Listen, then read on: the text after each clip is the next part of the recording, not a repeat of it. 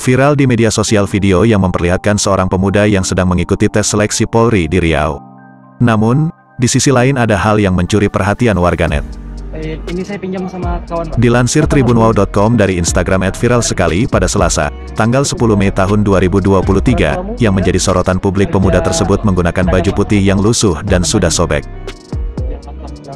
Tua yang, yang ibu. Ibu.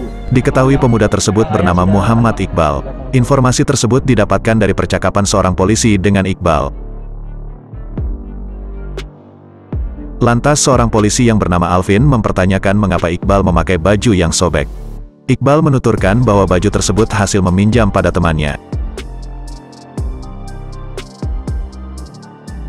Dalam video tersebut, Iqbal mengatakan bahwa ia tak mampu membeli baju tersebut lantaran tidak memiliki uang.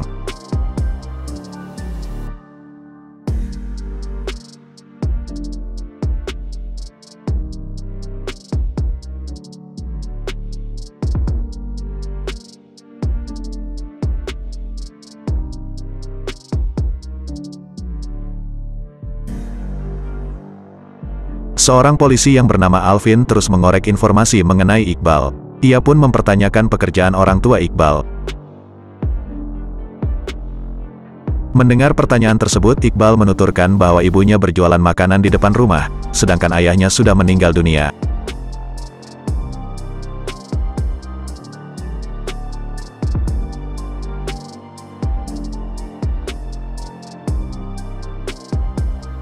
Eh, ini saya pinjam sama kawan, Pak. Kenapa nggak beli? Nah, kemarin Setelah mendengar cerita Iqbal, Alvin berinisiatif membelikan baju. Tak berselang lama, baju yang dibeli seorang anggota polisi itu telah datang.